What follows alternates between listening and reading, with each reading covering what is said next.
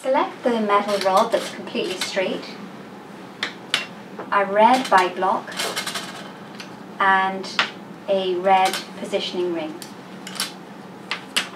The blue positioning ring will also work to perform this examination as both rings are exactly the same.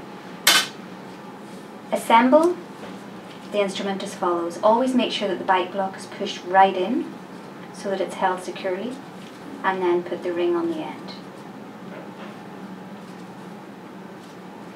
Then if you're using a direct sensor, we tend to use a size 2 for a bite wing examination in an adult.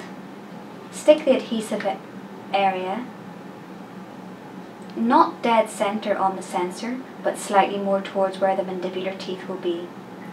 This ensures that you're going to get an adequate amount of maxillary bone showing.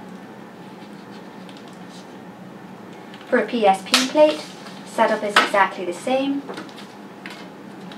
A size 2 plate and stick the adhesive in the middle of the black area of your PSP plate. Again, you have to be very careful that when you look through the ring, the plate is centered right in the middle of the ring.